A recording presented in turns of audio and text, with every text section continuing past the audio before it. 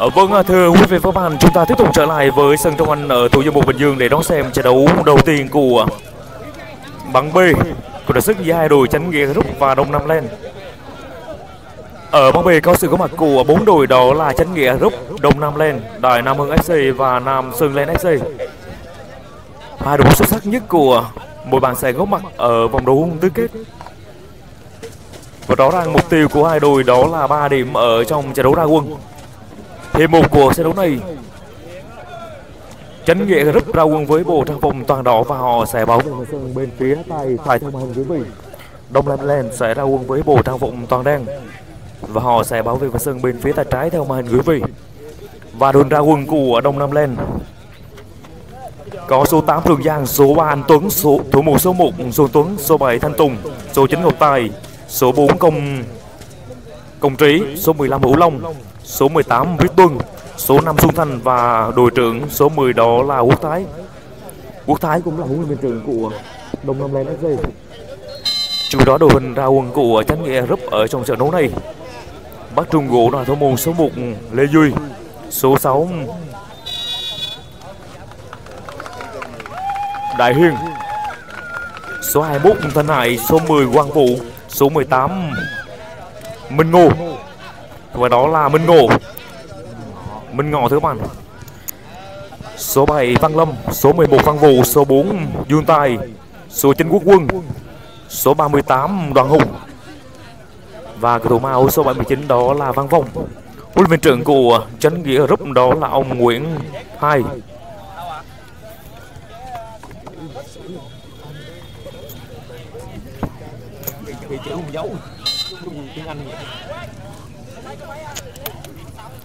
Ở sân đấu số 3 thì bắn B có sự góp mặt của hai đội, đó là Nam Sưng Lên và Đại Nam Hưng FC.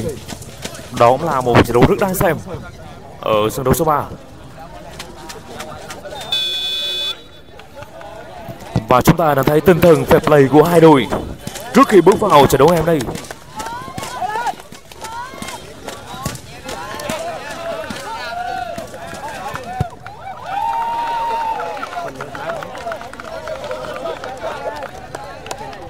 mình mình ăn à Hả? hỏi số tổng tài số hai Ờ, Nguyễn Như Đức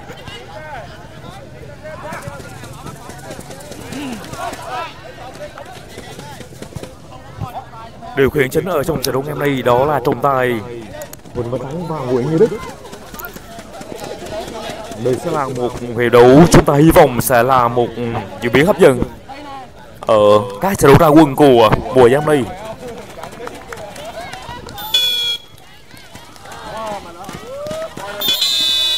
Vâng và như về một của trận đấu đã bắt đầu. Trận đấu vẫn đang được livestream ở trang trường lượng bóng đá và phối Bình Dương Giọng đá bất động sản Bình Dương trên cúp Hoàng Khôi. Năm 2019 lần thứ tư quy tụ 16 đội bóng mặt và chơi làm 4 bàn Hai đội bóng xuất sắc nhất ở mỗi bàn sẽ góp mặt ở vòng đấu tứ kết. Và là bóng khá nguy không vào. Cú đá chân đầu tiên của đồng Nam lên. Đó là pha dứt điểm của Hữu Long.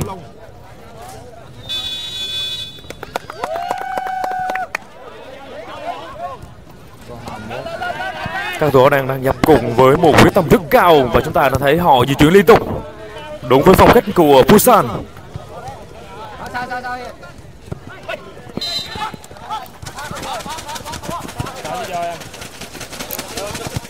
Ngọc Tài không được Ở trên hiệp một thì người chơi cao nhất sang công của Trấn Nghĩa Group đó là của tổ số 10 Hoàng Vũ.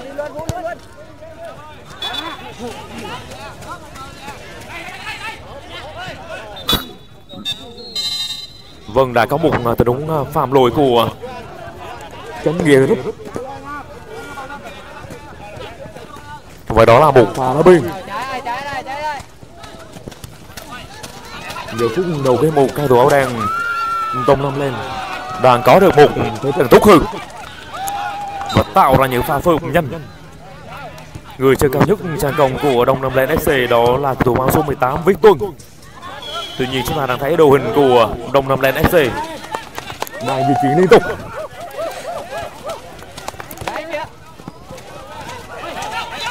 Và áp sát rất nhanh của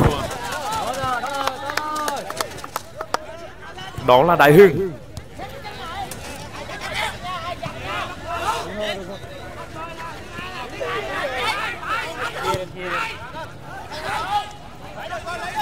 về kỹ thuật.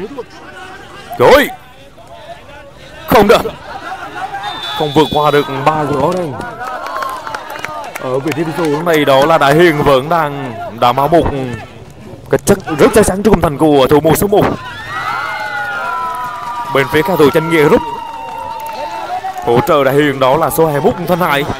Ở vị trí ala và số 10 của chân nghĩa rút đó là quang vũ luôn lùi về để hỗ trợ đồng đội của mình bộ thi số đại hiền dâng cao và đây là số 10 quang vũ. Đã có sự hoán đổi giữa quang vũ và đại hiền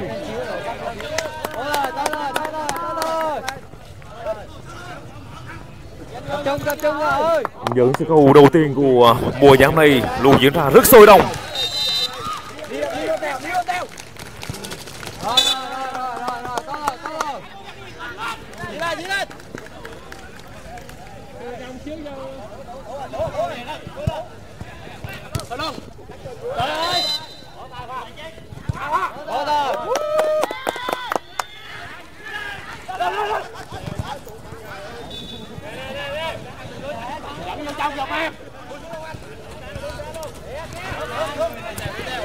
và phản công. Rất hay. Khấu vào. Pha sọc khe như đặc của ngọc tài.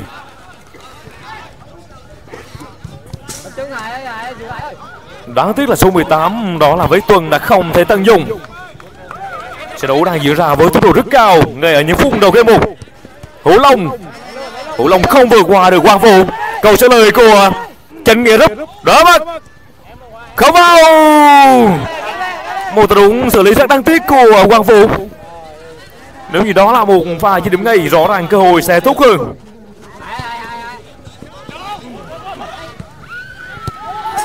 Vào không. Không công thắng cho các thủ đông nâng lên.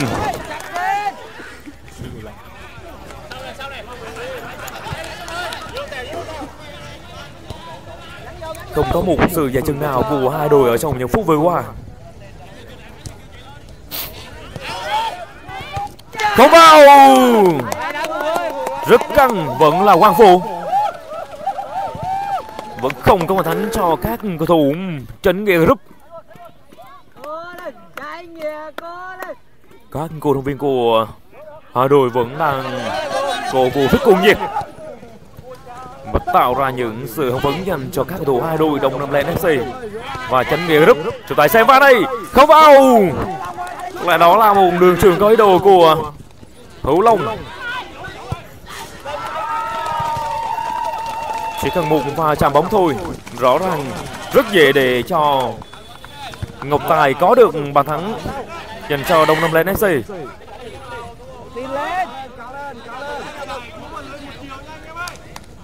Chạy cái trai đây, bụi trai đây. Chuyển phía trước, chuyển phía trước hả?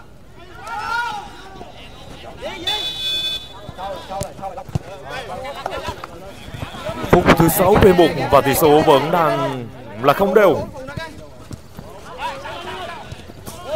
các cổ động viên của hai đội vẫn đang rất mong chờ để có được bàn thắng đầu tiên không vào pha súc ở ờ, cân trái của cầu mao số 15 đó là hữu long.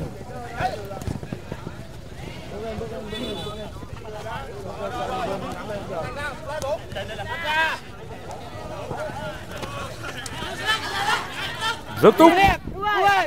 Có vào. Và dứt điểm của số 21 thân hại liên tiếp là những cơ hội dành cho hai đội bóng này ba sân cũng đang diễn ra. Ba trận đấu của bảng B, bảng C.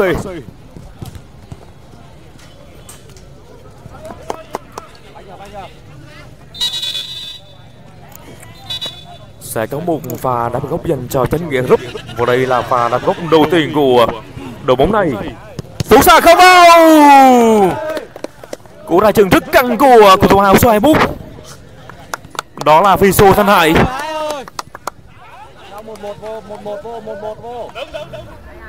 nếu như bóng đi đúng vào khung thành, rõ ràng rất khó để cho thủ môn của Đông Nam Lên FC có được một pha cứu thua. Rất căng.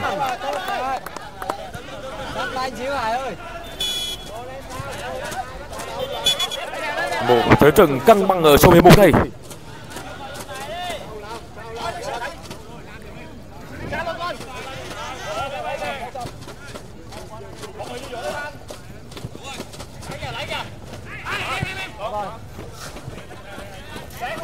một điều đặc biệt ở mùa giải này, đó là các ừ, trận đấu luôn được livestream và đây cũng là lần đầu tiên giám đốc bất động sản Bình Dương nhận được sự đồng hành của rất nhiều các đơn vị truyền thông nổi tiếng tại miền Nam. Có Phôi Bình Dương trường lượng đã là hai đơn vị sẽ livestream toàn bộ các trận đấu và ở trong những trận đấu vừa qua của vòng một, chúng ta thấy ừ, có sự xuất hiện của hồ trên đỏ Bình Dương. Đóng hồ và hỗ trợ cho các cầu thủ gặp chấn thương. Và đây cũng là một điều đặc biệt ở lần thứ tư được tổ chức. Và giải thưởng rất cao hơn những năm vừa qua. Đó là một điều sẽ khích lệ được tinh thần. Chiến đấu của 16 đội. Ngoài ra đây cũng là lần đầu tiên giải đấu có nhà tài trợ chính đó là công ty Hoàng Khôi. Và giải đấu cũng sẽ ủng hộ xây nhà tình nghĩa cho các hoàn cảnh khó khăn tại xã Tân Hiệp. Bình Dương. Rất ý nghĩa.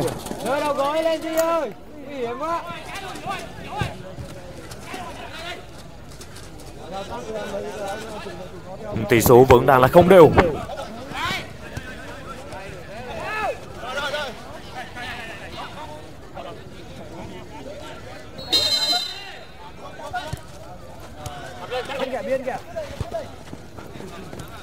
Không được. Mở bóng khá nguyên Hoàng Vũ đỡ mất vào. Và xử lý rất đẳng cấp của Hoàng Vũ. Một sai lầm của Đông Nam Lên FC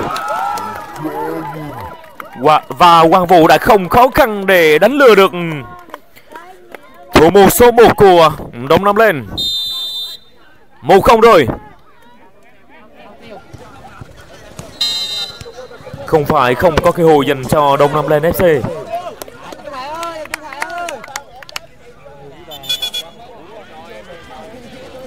Quang Vũ chính là người đã mở tỷ số cho các thủ chân nghĩa group.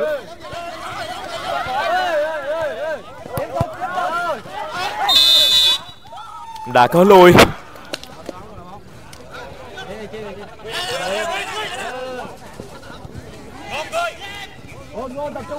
Che con, che con này, xin con nhìn che con này Đứng lên chiếu đứng lên xíu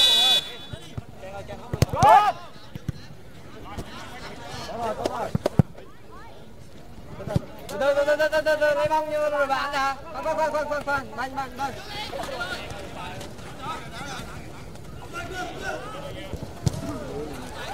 tiếp tục Ôi trời ơi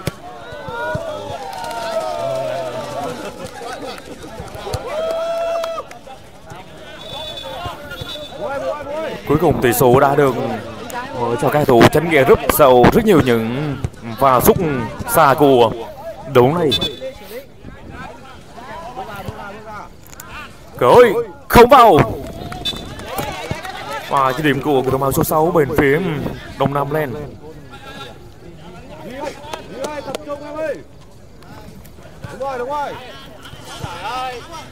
phản công.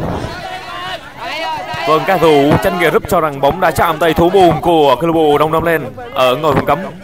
Nhưng trận đấu vẫn tiếp tục. Chúng ta đã nói không. Trời Khá Nguyên đối mặt không vào. Cơ hội rõ ràng dành cho cầu thủ áo số 8 của Đông Nam Lên. Đó là Trường Giang. Trường Giang cũng đã được đưa vào sân. Sú xả không vào. quay về lùi về em ơi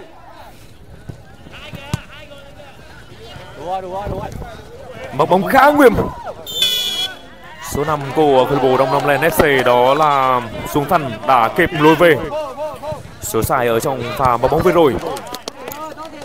Rõ ràng Hoàng Vũ không có được chiều cao thúc bằng các phi của Đông Nam Lên FC.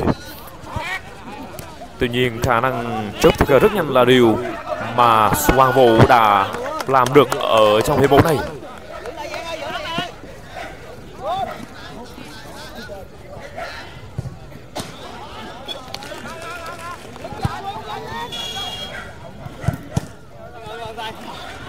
Vâng, lúc này số 10 Quang Vũ, cửa thủ đã mở đề số cho các thủ ừ, chân nghề rúp đã rời sân.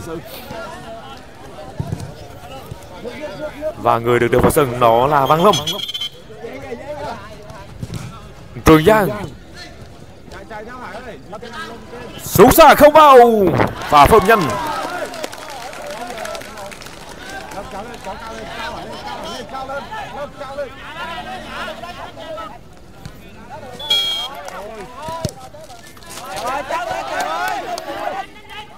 Rất nhiều những cơ hội đã được tạo ra trước mũi giày của Đông Nam Lên FC. Tuy nhiên, họ vẫn chưa tận dụng đã có lỗi của Đông Nam Lên. Đó là một pha xử lý rất kinh nghiệm của Văn Lâm. Trọng tài đã rút ra một tấm thẻ vàng dành cho của thủ áo số 5 đó là Xuân Thanh.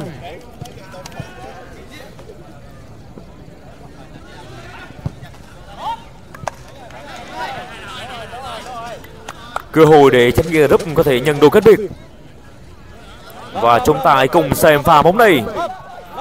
Chân phải em đâu chân phải đâu lâm chuẩn bị theo đề nhá súng căng không vượt qua hàng rào. Đó là pha xúc phạt của phi sổ thân hải.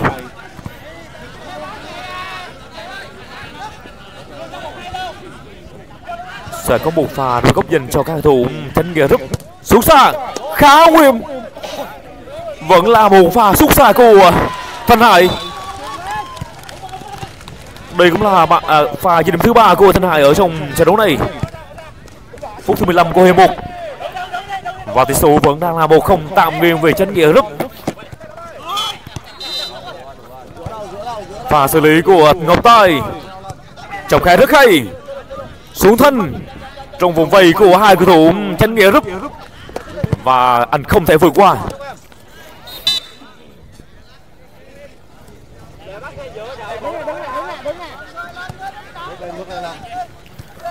Ở sân đấu số 3 bảng C có trận đấu giữa hai đội thành công FC và phố mới FC chúng nó ở sân đấu số 1 đó là cuộc đọ sức giữa Nam Sơn Lên và Đại Nam Hưng FC và sau khi trận đấu này khép lại sẽ là ba trận đấu cuối cùng của vòng một. Thành Gương là FC sẽ gặp Sơn Villa Serra Sera Bất Hải An Phát sẽ gặp Đồng Phương FC Vinaphone Phú Giáo gặp Trần Thành FC Chúng ta xem vào này phản công cho Đông Nam lên. Rất khó để tạo ra một sự đột biến, Đó là pha xử lý của số 8 Thường Giang. Tuần của Đông Nam lên FC đã không kịp dâng cao ở trong trận đấu vừa rồi. Và Thường Giang rất cô đơn Trong pha xử lý. Bạn không vượt qua được sự truy cản của hai cầu thủ áo đỏ, chấn nghĩa FC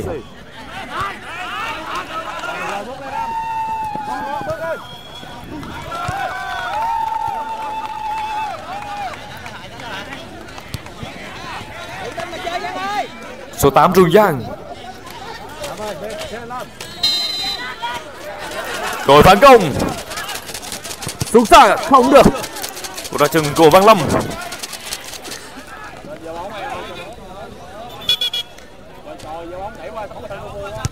Phá phợp của Văn Lâm. Và đó là số 5 xuống thân.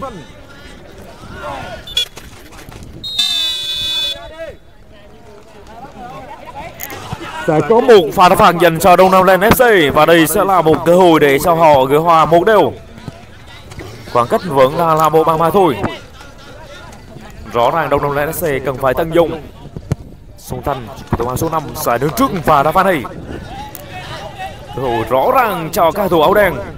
Và chúng ta hãy chờ xem liệu Xuân Thanh có thành công hay không. Xuống thân vũ anh không vào. Và phở bất ngờ của sung thân.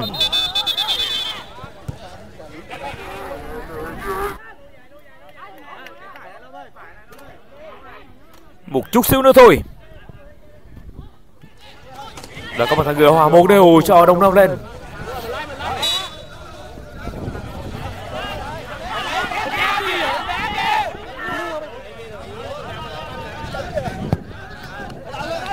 Vũ Anh. Khá thúc. Hàng thủ của Trấn nghệ rất vững đang chơi tập trung và đây là mùng pha phản công.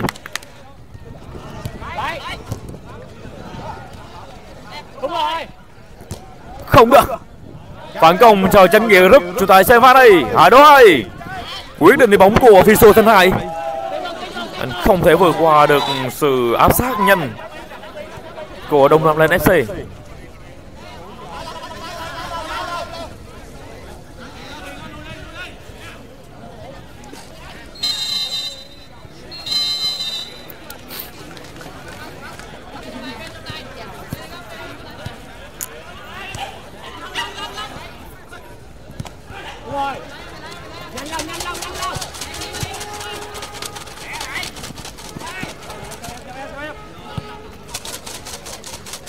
Trước khi bước vào những trận đấu đầu tiên của buổi hôm nay, buổi lễ khai mạc giải đá bất động Bình Dương trận cúp Hoàng Khôi cũng đã diễn ra một cách rất trang trọng và chuyên nghiệp.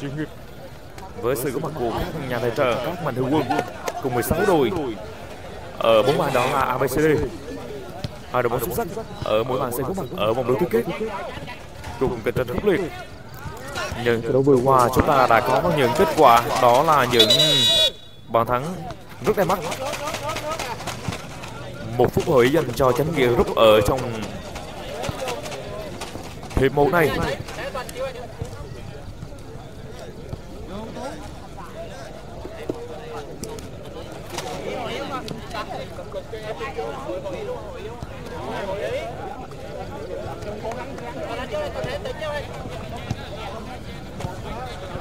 Thời gian của hiệp một đã trôi về những phút cuối rồi tỷ số vẫn đang là một không.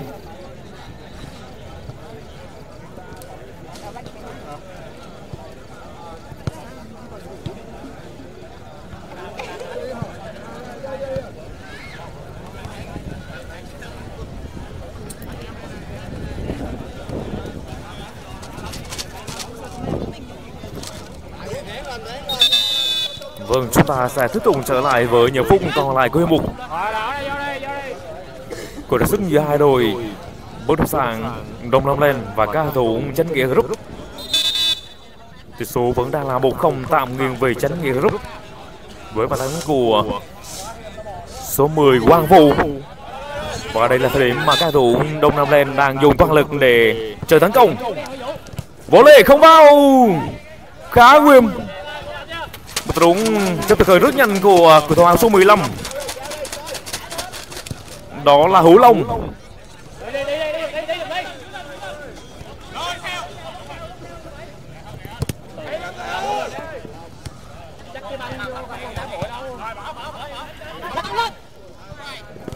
Trường giang.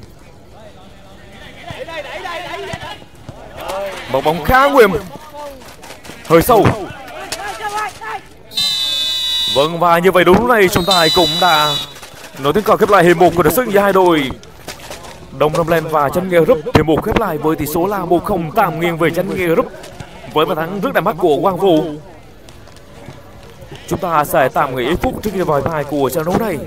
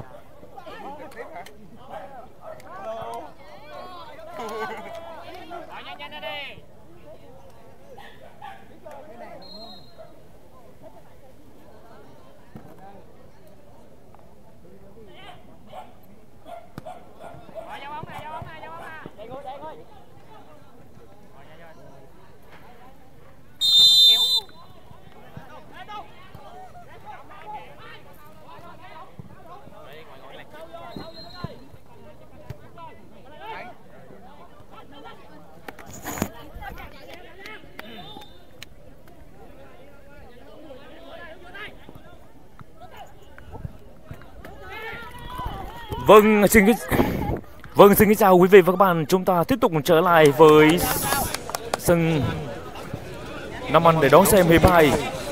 Cục là sức giữa hai đội. Đồng Nam lên và các cầu thủ chánh nghĩa FC ngay ở những giây đầu tiên của hiệp 2. Đồng Nam lên FC đã có được bàn thắng gỡ hòa một đều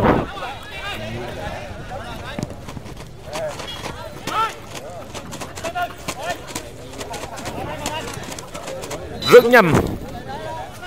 Và các hai đội đã trở về vạch xuất phát.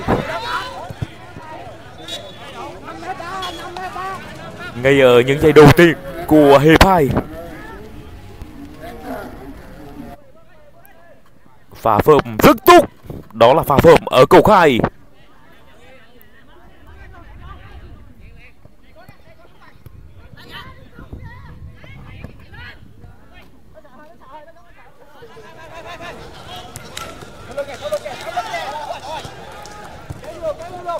Vâng, có lẽ đó là bàn thắng của thủ màu số 8 bên phía Đông Nam Lên. Trường Giang đã ghi bàn. Một bàn thắng cực kỳ quan trọng dành cho Đông Nam Lên. Và tỷ số đã được mua bên một đều.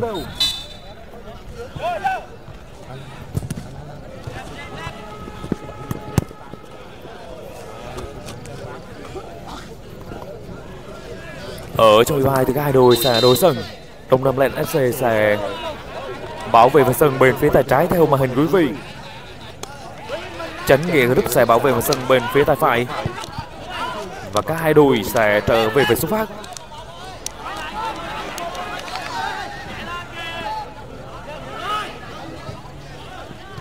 Và gốc cho các đội tránh nghĩa group vẫn là một đường được đánh là rất cao của tránh nghĩa group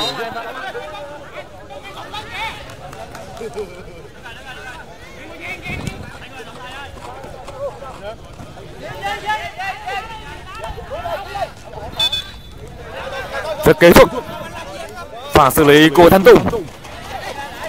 Ở trong hai này ban huấn luyện của câu lạc bộ à, đông lâm fc ông quốc thái đã quyết định tùng thanh tùng. Một cầu thủ có kỹ thuật cá nhân tốt và sự đột biến là điều mà thanh tùng có được. Chúng ta đã rút ra một tấm thẻ vàng dành cho các thủ tránh nghĩa đức. Không vào! Quá ngôi thủ môn của đông nam lên. Không phải đó là thủ môn của tránh nghĩa đức và chớp thực rất nhanh và đã phạt rất nhanh của đồng Nam Lên FC và dứt điểm của Thanh Tùng.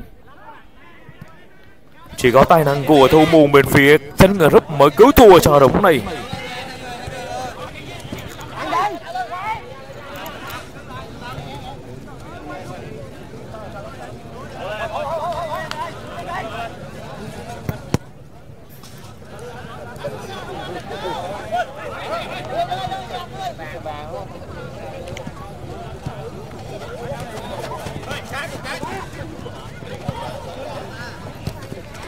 Pha phục khá túc rồi không vào là là một pha cứu thua nữa của thủ thành số 1 bên phía chân nghĩa rút một chút xíu nữa thì đã có bàn thắng thứ hai.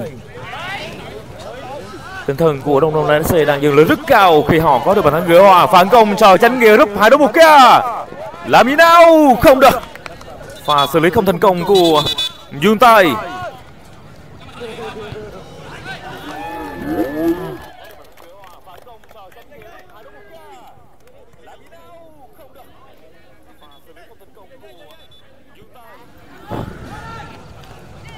Tốc độ của trận đấu đã được là rất cao. Vâng chào huấn Vinicius. Cap de Villa. Cap de Villa không tham dự giải đấu năm nay. Wow! Và thắng rất đẳng cấp của cầu thủ áo số 6 bên phía chân nghĩa rúp đó là Đại Hiền. Một bàn thắng đúng với phong cách của Fiso này. Rất gọn gàng, rất đơn giản và tạo ra một sự khác biệt lần thứ hai ở trong trận đấu ngày hôm nay nghĩa group đã vượt lên nhận trước. Và chúng ta hãy cùng xem lại bàn thắng của ngọc huyền cú ra chân rất căng và rất nhanh của số 6 đại hiền. Hai một.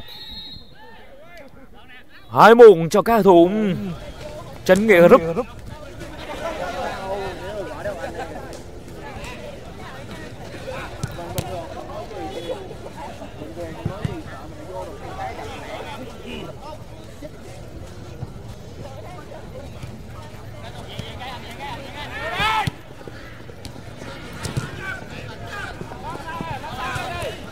lần thứ hai ở trong trận đấu ngày hôm nay. Chánh nghĩa group đã vượt lên nhà trước.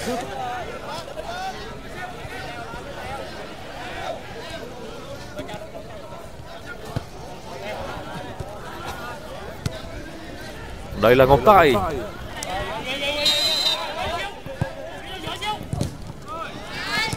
không được.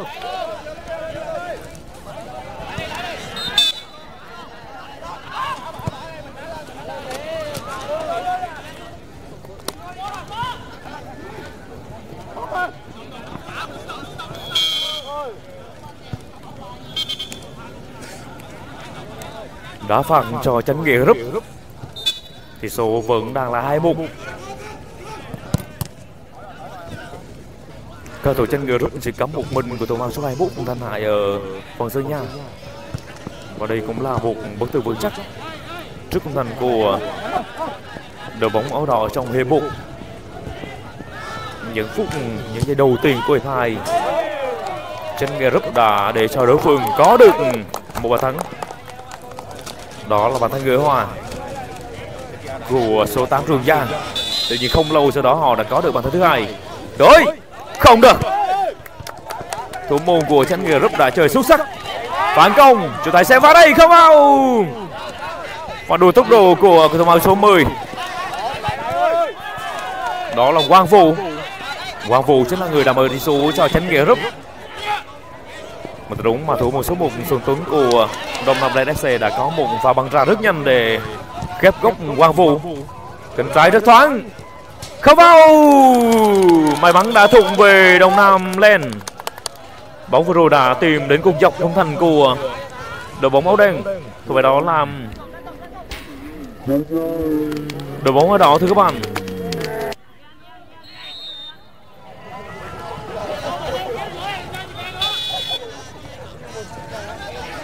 Chuyền trái.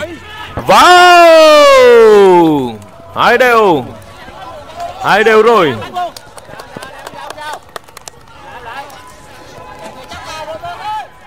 Bàn thắng gỡ hai đều của cầu thủ mạng số 9 đó là Ngọc Tài. Rất hay.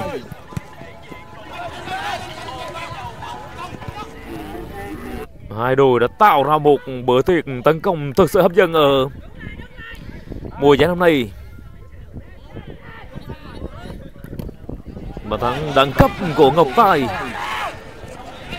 và theo thống kê của chúng tôi ở trong những trận đấu vừa qua cánh trái vẫn đang là cánh cho thấy sự thành công ở trong những pha dứt điểm chéo góc của trái đôi và đã có rất nhiều bàn thắng được ghi ở cánh trái.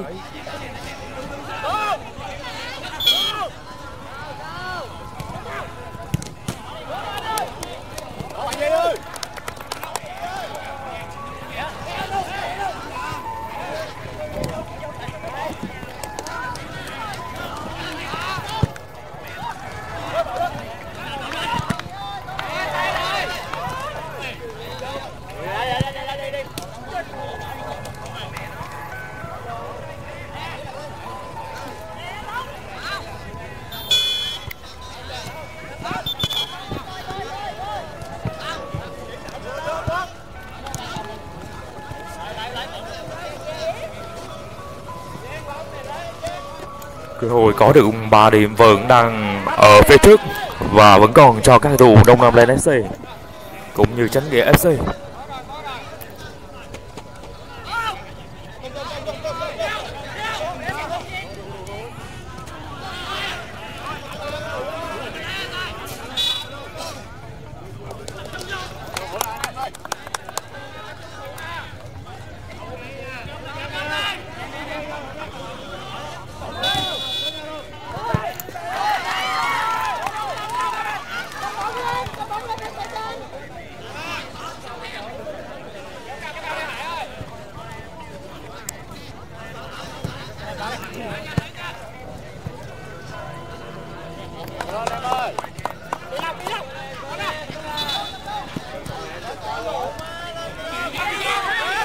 Phản công cho chân tuần tay không vào.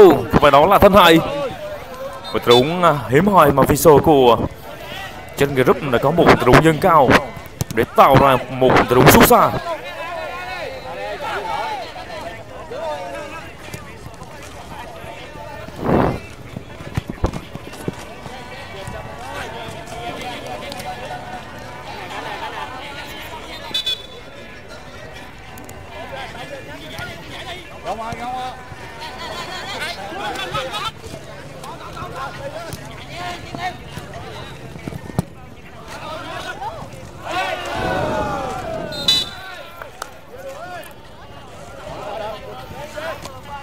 bóng B còn có sự góp mặt của hai đội đó là Nam Sơn Lên và Đài Nam Hưng FC. Hai đội bóng cũng đang đấu ở trận đấu số 1. Trong đó ở trận đấu số 3 đó là cùng đọ sức ở bảng C. Thành công FC đang gặp phố mới FC. Và thành, thành công FC đang tạm giữ trước phố mới FC ở trong 12 Ngay sau trận đấu này khép lại sẽ là những trận đấu cuối cùng của vòng 1. Thành Nguyên Lên FC gặp Sơn Villasera ở bảng C. Bảng D bất động sản Hải An Phát sẽ gặp Đông Phương. Vinaphone Phú Giáo sẽ gặp Trần Thành FC. Đó là ba trận đấu cuối cùng của vòng 1. Bảng C và bảng D.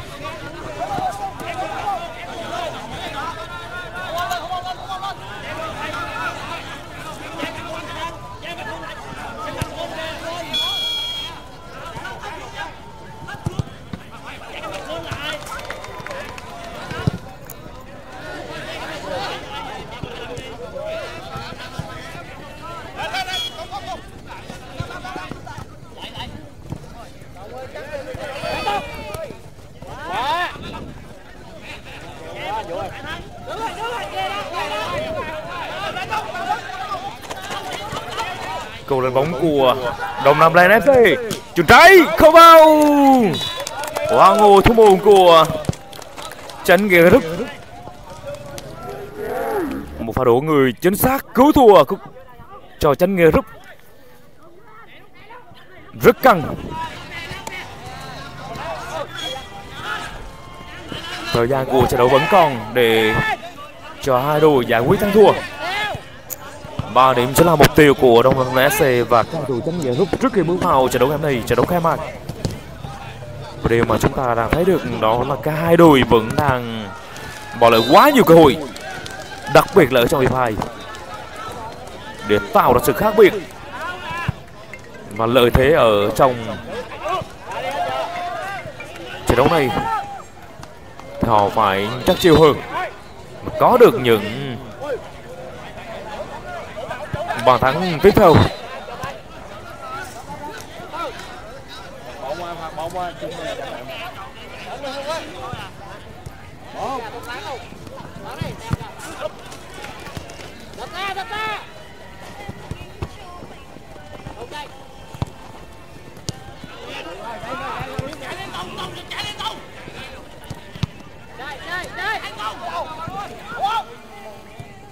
vẫn là các cầu thủ Đông Nam Lên FC không được. Đường chuyền một đô la của Ngọc Tài.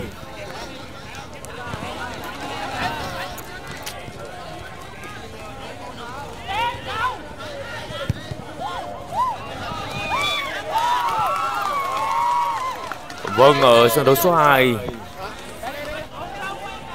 Former FC đang à, dẫn trước thành công FC với một cách biệt rất đậm ở bảng C.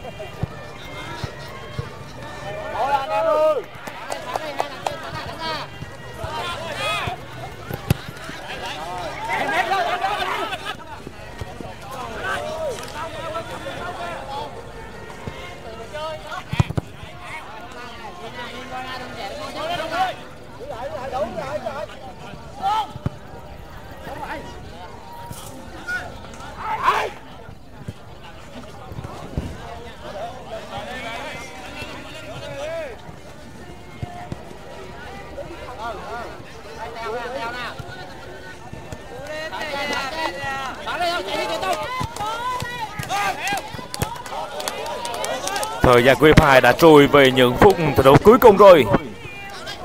Và liệu đội bóng nào sẽ có được 3 điểm? 3 điểm của bắn bi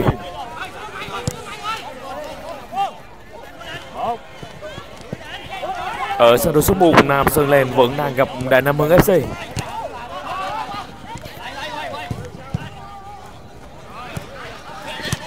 không được. Thanh Tùng. Đó là một đường chuyển quá thương sát của Thanh Tùng và anh đã rời sân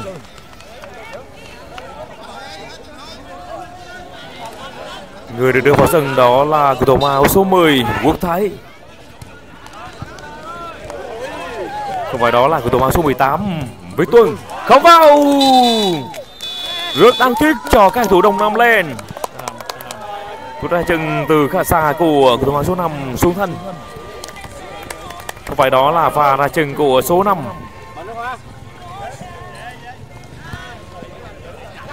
Đúng là sung thanh các bạn. Một phút gửi dành cho các thủ chánh nghĩa rút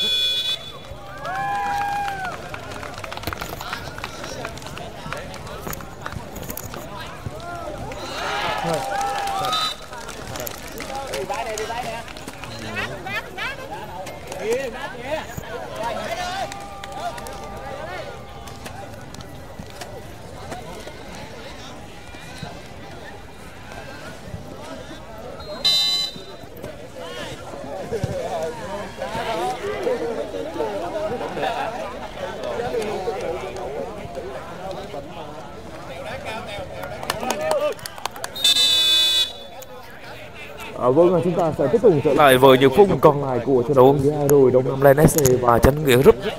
Tỷ số đang là hai đều.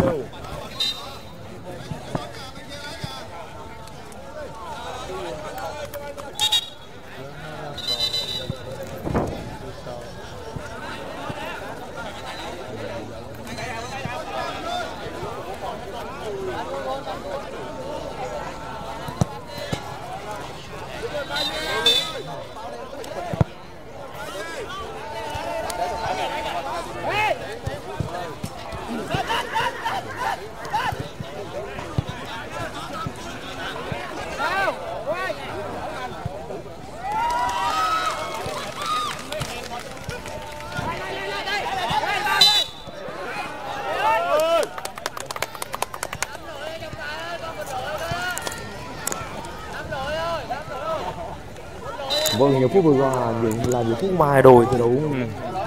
Rất nỗ lực. Càng thủ. Đông Nam Lên FC đã phạm lỗi phối hợp. Có lẽ là thứ năm ở trong hiệp hai này.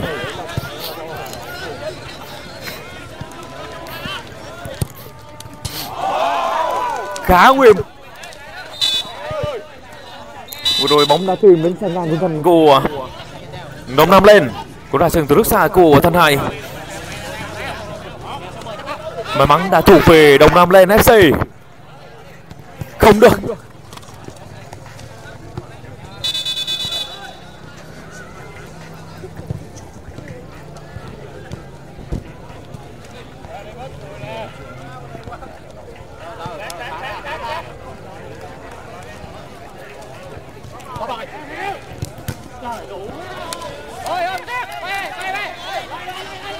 Nếu như có được một điểm ở trong trận đấu ra quân thì cái hồi đi tiếp của hai đội vẫn còn rất nhiều và đối thủ của Đông Nam Land FC và cái thủ chánh ghe group đó là các thủ Nam Sơn Lên và Đại Nam Hưng. Hai đội bóng rất mạnh ở bảng C.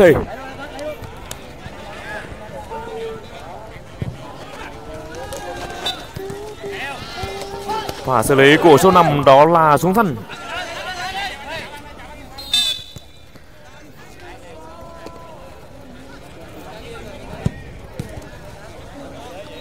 xuống thân không được.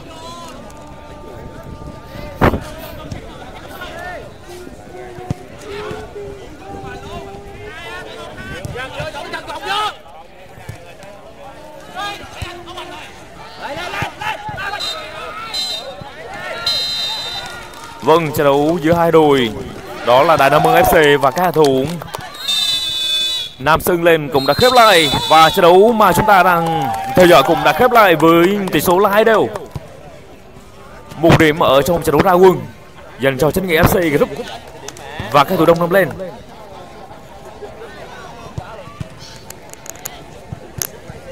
Cục diện của bảng B rất có lường, các bạn và cơ hội vẫn còn chưa đều cho cả bốn đội ở bảng B chúng ta sẽ tạm nghỉ phút trước khi đi vào trận đấu cuối cùng ở bảng C và bảng D.